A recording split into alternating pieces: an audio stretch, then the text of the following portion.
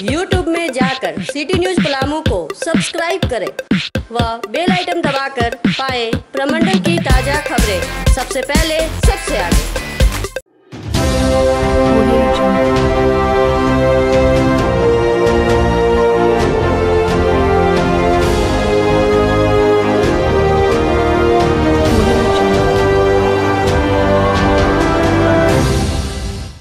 हुसैनाबाद अनुमंडल मुख्यालय के कर्पूरी मैदान स्थित टाउन हॉल में शनिवार को बहुजन समाज पार्टी का विधानसभा स्तरीय कार्यकर्ता सम्मेलन का आयोजन हुआ, जहाँ बतौर मुख्य अतिथि बसपा प्रदेश अध्यक्ष, स्थानीय विधायक कुशवाहा शिवपूजन मेहता ने शिरकत करते हुए पार्टी कार्यकर्ताओं से आगामी चुनाव में लोकसभा सीट पर दर्ज कराने में अहम भूमिका अदा करने का आह्वान किया।